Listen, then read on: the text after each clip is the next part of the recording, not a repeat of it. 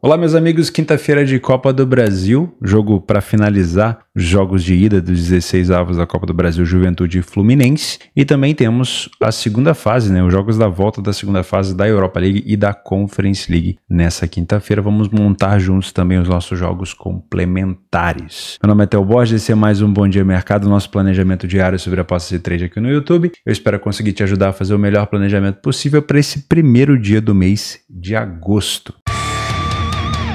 Vamos começar o nosso planejamento no Egito. Às 15 horas, o Al enfrenta o National Bank. Acho que é assim que se pronuncia. E nós temos a primeira possibilidade desse jogo ser adiado, né? Porque vira e mexe acontece no Egito. Mas Supondo que não seja, nós temos o Awali que agora é líder isolado da competição contra o National Bank, que é uma equipe de meio de tabela. Né? Então, muito provavelmente aqui não está aparecendo a cotação do Awali, mas eu já fui consultar em outro local, está 1,35. Então é um bom jogo para você ficar de olho num back favorito, também numa possibilidade de vitória do Awali no primeiro tempo, se você gosta desse tipo de mercado, porque o Awali está embaladíssimo. Além de já ter ultrapassado pirâmides, e agora é, já tendo colocado também uma gordura de pontos na frente, ainda tendo dois jogos a menos, o time chegou a 14 vitórias consecutivas e 21 partidas sem perder. Além disso, frente a frente, o Awali foi o primeiro a marcar em seis dos últimos sete jogos entre eles e tivemos um jogo under 2,5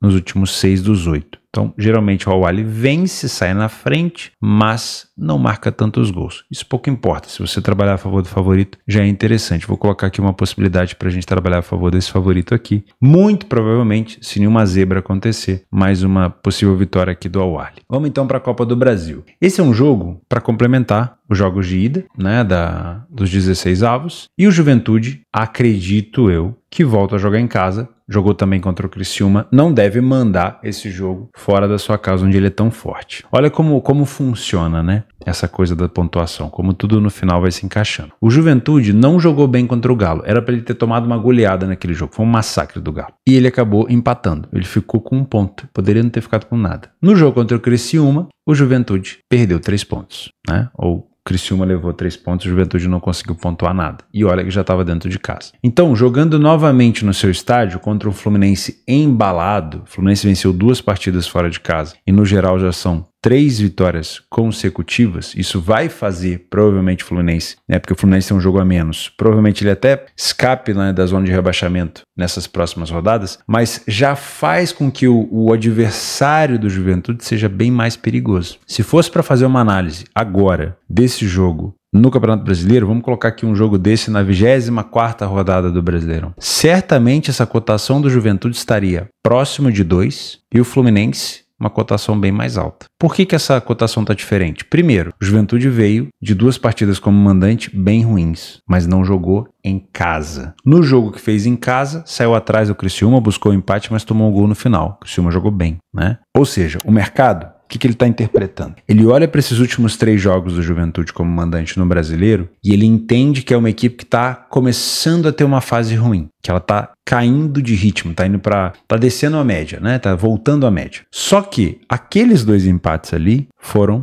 em Brasília. Então eu não posso só olhar para o lado de um mercado desconfiado achando que o Juventude parou de jogar bem em casa. Ele não deixou de jogar bem em casa. Ele teve um jogo ruim contra o Criciúma. Foi a primeira derrota do Juventude no Brasileiro dentro da sua casa de fato, tá? Juventude que venceu várias grandes equipes dentro de casa. Eu acho que foi isso, tá? Acho que foi isso. Juventude não perdeu é, nenhum outro jogo além daquele jogo contra o Criciúma. Então, pensando nisso, essa cotação do Juventude ela poderia estar um pouquinho mais baixa porque me parece que o mercado está, na minha opinião, considerando que aqueles três jogos ali sem vitórias foram naquele campo que Juventude tão joga bem, mas não foi. Né? Só que em contrapartida, nós temos do outro lado um time num bom momento. E eu respeito muito essa questão do momento. Então, ao mesmo tempo que eu gostaria de puxar essa cotação da Juventude para baixo para ele ser mais favorito, até porque é um jogo ida e volta e nada mais justo do que o Juventude ser um pouquinho mais favorito, eu também fico cabreiro porque o Fluminense está numa excelente fase. E quanto mais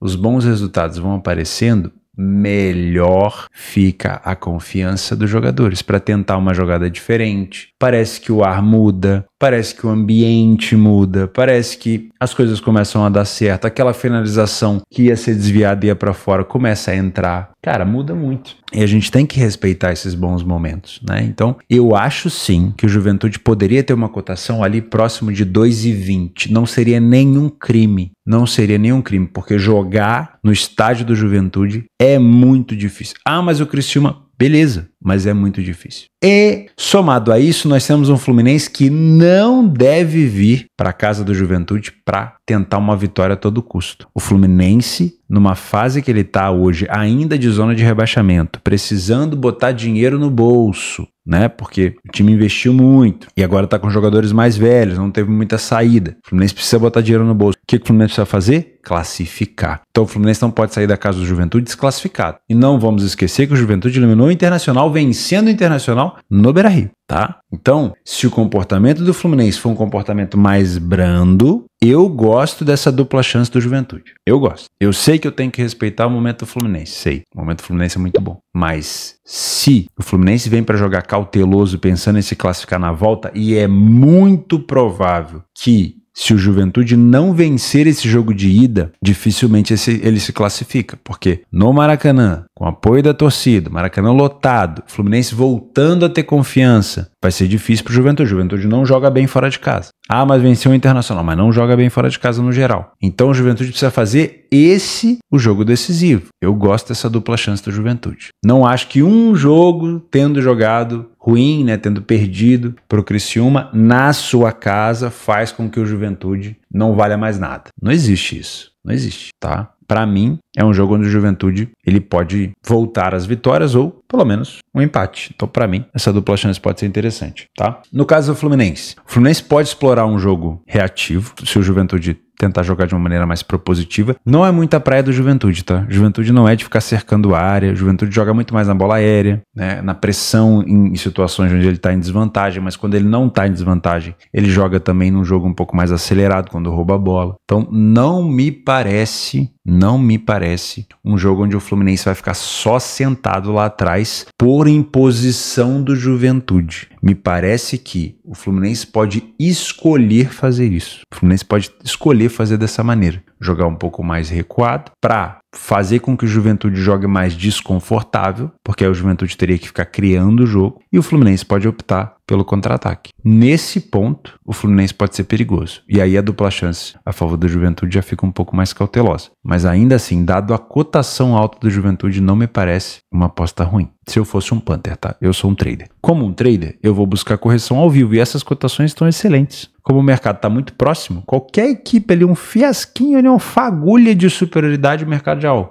começa a mexer. Para mim, é muito mais tranquilo de trabalhar. Não que não tenha o risco envolvido, claro que tem. Posso tomar um gol dentro da, da posição, um gol contra. Mas é mais tranquilo, eu tô trabalhando em cima de uma leitura de jogo, tá bom? É muito mais fácil para mim. Mas, para você que é um Panther, eu, sinceramente, não acho que o Juventude deixou de jogar bola só porque ele teve três jogos sem vencer como mandante, porque dois jogos desses foram em Brasília, não foi na sua casa. E o Fluminense teve sim bons resultados, mas é um jogo ida e volta, então o empate pro Fluminense não é terra arrasada, pelo contrário, é um resultado bom pra caceta, tá? Então, para mim, é um jogo que tende a ser amarrado, não duvido de um jogo under, não vou te indicar gols, assim como não indiquei nos outros jogos, mas eu gosto desse dupla chance do Juventude, tá? Se o Fluminense sair daqui com 0 a 0 ou com 1 a 0 no placar, vai ser um resultado excepcional para o Fluminense. E pode acontecer, claro. O Fluminense está num bom momento, a gente tem que respeitar esse bom momento. Mas eu tô achando que o mercado deu uma, assim, uma ignorada no fato do Juventude só ter perdido uma partida em casa no Brasileiro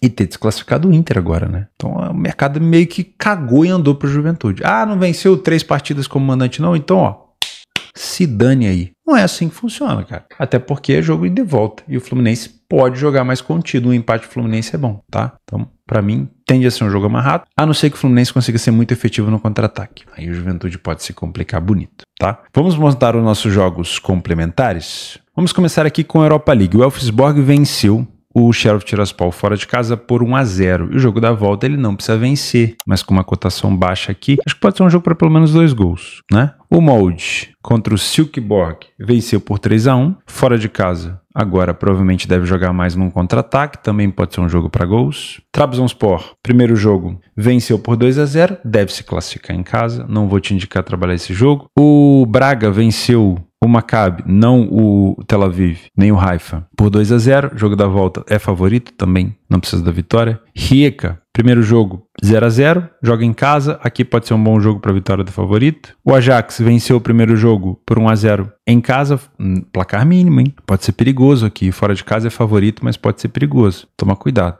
Cercle Bruges contra o Kilmarnock 1 a 1, decide em casa agora com uma cotação mais baixa. O Panathinaikos na Grécia venceu por 2 a 1 e agora decide fora de casa, também um time com uma cotação baixa. Perigoso, né? Se o time não precisa da vitória com a cotação mais baixa, é bem mais difícil. O Viena, fora de casa, venceu por 2 a 1 decide em casa, também pode ser um bom jogo complementar. Na Conference League, eu prefiro não fazer nada nessa fase, tá? São muitos jogos, a liquidez é muito baixa e na maioria das vezes são equipes que a gente não conhece. Então eu deixaria de fora, tá? Já marcamos os jogos do Egito? Já. Na hum, Liga de Israel, a Copa, né? Temos. Deixa eu ver se tem alguém famoso aqui. Não, não, não, não, não, não, não, não. São só equipes mais medianas com todo respeito. Cerro Portenho joga no Paraguai. No Peru, não joga as três principais. Leagues Cup é um bom campeonato para a gente acompanhar. Vamos colocar aqui o Cincinnati, o Real Salt Lake, Salt Lake, Toluca e o Portland Timbers contra o Colorado Rapids. Todos eles, tá? Principalmente para horário é bom para caramba. Você que trabalha horário comercial, esses jogos à noite são bons. Na Bolívia, o The Strongest pega o, o. Aí tem amistoso para caramba aqui. O Stuttgart pega o Sanfrecce Hiroshima, fora de casa. O Diana pega o Brecha. Não, tô fora de amistosos. É isso, é isso. Acho que o principal jogo mesmo é Juventude Fluminense, né? Vou ficando por aqui, o espaço está aberto para vocês me ajudarem. Não tem informação ainda de desfalques do Fluminense ou do Juventude. Se você tiver essa informação, por favor, comente aqui embaixo. Não esquece de deixar o like no vídeo, que me ajuda muito. Eu vejo você amanhã. Um grande abraço e até a próxima.